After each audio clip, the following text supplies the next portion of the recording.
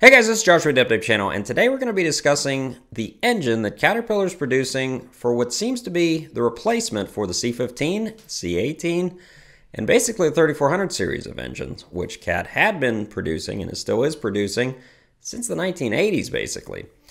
And the engine I'm talking about is the C13D, and Caterpillar just unveiled this engine at ConExpo 2023, and as you can tell, it is a 13 liter engine. Now, Cat does make a C13, but from what I can tell, this is a completely different engine.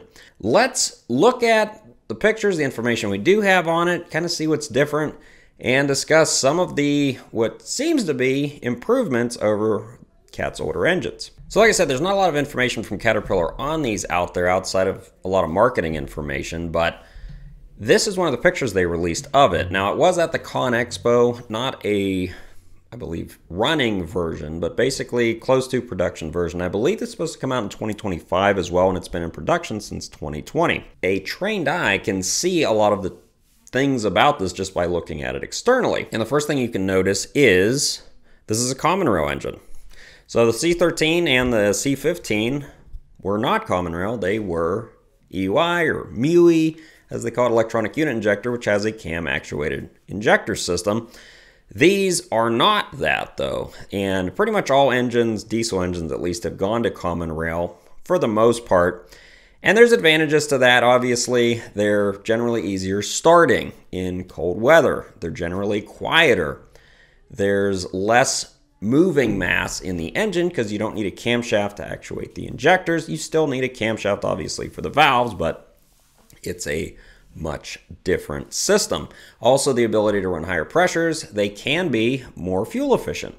However, there are disadvantages as well. You then have to have an external high pressure pump. You've got a lot more fuel lines on the engine, and the injectors in general are a lot more sensitive to contaminants than the older injector design. So you can see that this is indeed a common rail engine. One of the big things I noticed that pretty much all of CAT's engines, at least their inline sixes before this, I'd always had was a front gear train. But if you look at this one, got a appears to be an AC compressor, an alternator above that. There is no gear train on the front of this engine. You can see that because there's really just your damper and then it goes straight into the block. That's a big departure from CAT's other engines that are pretty much all front gear train outside of when you get into the big stuff like 3500 series and stuff. So if you don't have a front gear train, you still have to have a gear train to time your camshaft to your crankshaft. And the way they do that is, as you can see, it's a rear gear train. Also, the high pressure pump, which feeds high pressure fuel into the common rail, is driven off the rear of the engine. Now you can see a filter manifold here, which the fuel system in kind of one of those inverted uh, cartridge style fuel systems that a lot of manufacturers have gone to. Not the biggest fan of those plastic filter housings, but there's a reason why they're going to those. It, there are advantages to them because you don't have to worry about spinning on filters. You just have this canister style filter. It seems to be the way of the future, folks, um, but that's what they went to here. And you can see, unlike most CAT engines where the ECM kind of sits back uh, between cylinders 5 and 6, this one actually sits more forward, and that is because the high pressure fuel pump now sits towards the back of the engine, so they move the ECM forward. And that's mostly the biggest changes I can see. Uh, the intake on this one is much different. So most of like the C15, C13s, the intakes are pretty much always in the center of the cylinder head, as you can see. This one, it's actually in the very forward section of the cylinder head, and it goes in at an angle opposed to generally straight in from the side, I guess it wouldn't be straight in, it'd be 90 degrees angle from the side. And what I don't see is any sort of EGR mixing valve or an EGR cooler or anything. That would probably be on the exhaust side, but don't really see that on this one. So here's a picture of the exhaust side of the engine, and as you can see, single turbocharger appears to be a VGT turbo, variable geometry turbo, because it has a VGT actuator on it. Also seems like it's picking up I'm assuming that is oil. Uh, CAT usually uses oil-controlled VGT actuators. However, that could be coolant to help cool down the module inside of there. And you can see that it has the uh, cartridge-style oil filter also, where I said there's a might be the oil filter on the intake side. Those are both fuel filters, and this is our oil filter over here. Now, what I don't see is the water pump. I'm not sure where that's running from. If it's somewhere behind this uh, filter housing here, or exactly where it's going on. I'm, I'm not really sure on that one. Now, it could be, I do see a pulley here, so it could be a belt-driven water pump, which cats, usually they're heavier-duty engines. They've been gear-driven water pumps, like the C13, C15, those were gear-driven. Maybe they went to a belt-style water pump here. Now, I am not a big fan of VGT turbos, folks. I've made videos in the past where Cat actually used a turbocharger that basically had a two-speed turbine housing, and it used a balance valve to kind of speed up or slow down the turbocharger without an actual any moving components outside of the actual turbine itself. And VGT turbos, in my opinion, folks, are a pain because you have a moving parts inside of a turbocharger that generally make the turbocharger much more expensive. Those the actuator that actuates the turbocharger to increase or decrease boost is very sensitive generally, and since it's a carbon-rich environment, because it's on the exhaust side, it can be a real pain in the butt. And it seems like most manufacturers are going that way. I'm not a fan of that. Now, you may notice that the valve cover is extremely hard from the pictures to get on and off because, of course, it has the DPF and the SCR catalyst over the valve cover like pretty much all CAT engines do now. And that's always a problem because it, when you have to do your valve adjustment, you have to remove all that stuff.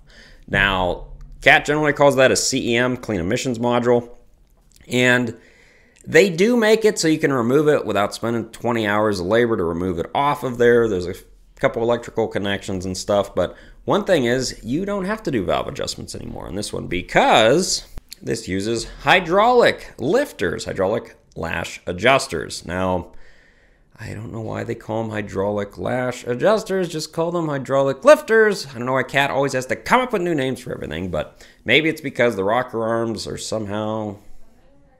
I don't know. This is obviously a pushrod engine because obviously the gear train is not extended to the head, so it must have lifters of some sort. Why not just call them hydraulic lifters? They don't. So that is interesting because Cat has always used mechanical uh, lifters going to a hydraulic. Now the Cat 7.1 has hydraulic lifters, but that's a Perkins engine, and those are while diesel engines they have they're not as heavy duty built if you ever go through one as this engine is. Now what I was trying to find is whether this engine block uses replaceable liners. I'm assuming it does because it's a heavier duty engine, but as of this time of the recording, I can't find any information on whether it does use replaceable wet liners or not. It doesn't say so anywhere. And one thing I did find kind of interesting was they were talking about the common rail injectors and how great it is, and a few interesting things came up. So it's got an oil lubricated transfer pump, which I, I don't know what they mean by that, because usually your transfer pumps are gear driven, and usually those are exposed to the oil system, but it says hydraulic lubricated. So I'm wondering if part of the transfer pump is actually being supplied engine oil. That would be unusual. The high pressure fuel pumps are usually oil lubricated. Um, but one thing it says is three times more robust than existing MUI A injectors. Now, if you know what a MUI, that's what I was discussing earlier, is that's a mechanical electronic unit injector that is camshaft actuated. For them to make the claim that they are three times more robust is quite a statement because MUI injectors, in my experience, are the longest lasting injectors you will find in a diesel engine.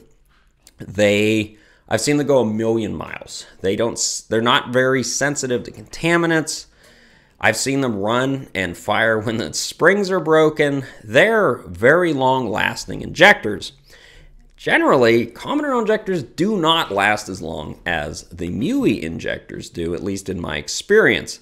Now, maybe there's something special about these common rail injectors, but any injector, when you're exposing it to these super high PSI pressures of the common rail system and wanting it to fire, you know, five times every stroke of the piston, usually that means they're more sensitive. So, while this claim of three times more robust we're gonna have to see if that really holds up. Now, how about a little destruction of the week before we end our discussion on the C13D?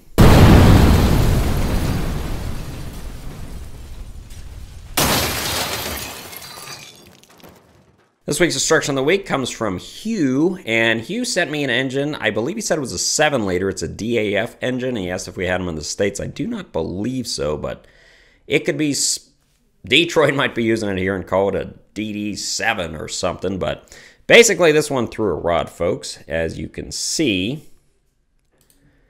And yeah, broke right through the block there. You can see the connecting rod. This one's totally gone, folks. Here's a picture of the oil pan.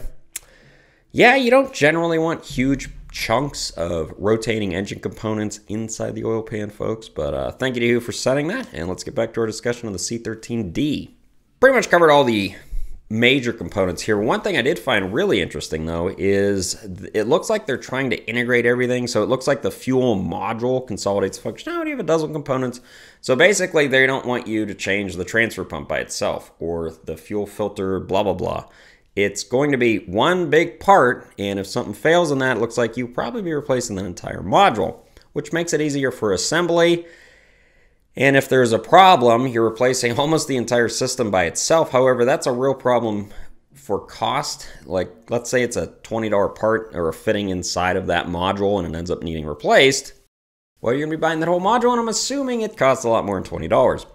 Now, notice the service intervals here. They're saying 1,000 hour fuel and oil changes on these.